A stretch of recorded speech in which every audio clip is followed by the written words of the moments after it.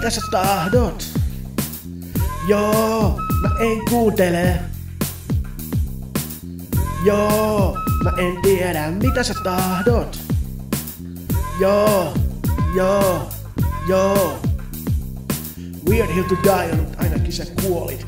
Itsehän aion väistää nuo luorin, kun mä olin valmis, ne rikko mun muotit. On ainutlaatuinen käsikirjoitettu nuoti. Älä luota muuhun, jokaisella on agenda, tuhota tai luoda jotain vitu makeeta, olematonta, olevaksi tuoda. Vaikka Jussi olisi jäänyt suotta ilman kuokkaa, se muokkaa tarinansa uudestaan. Eri toja hio, suurempaa ja suurempaa maailman päähahmo ei voi hävitä, koska käsikirjoittaja saisit hävetä. Joo joo, mä oon hetken nöyrää miestä, kun kuljen mun jaloa kärsimysten tietä. Kyllä sitä hetken tosi mies sietää, kun tietää, että lopussa ylöspäin sen viettää.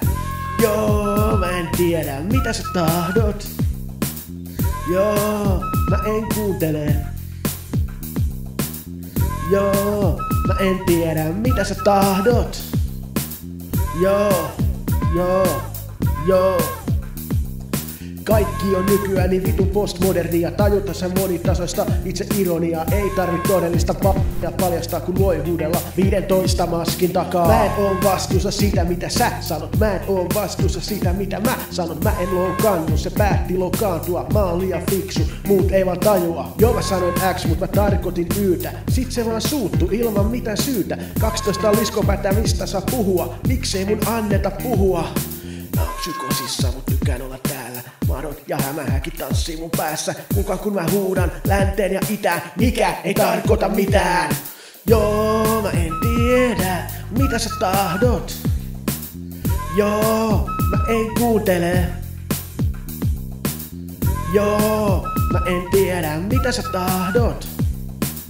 Joo, joo, joo. Joo, mä en tiedä mitä sä tahdot. Joo, mä en kuuntele. Joo, mä en tiedä mitä sä tahdot. Joo, joo, vittu joo.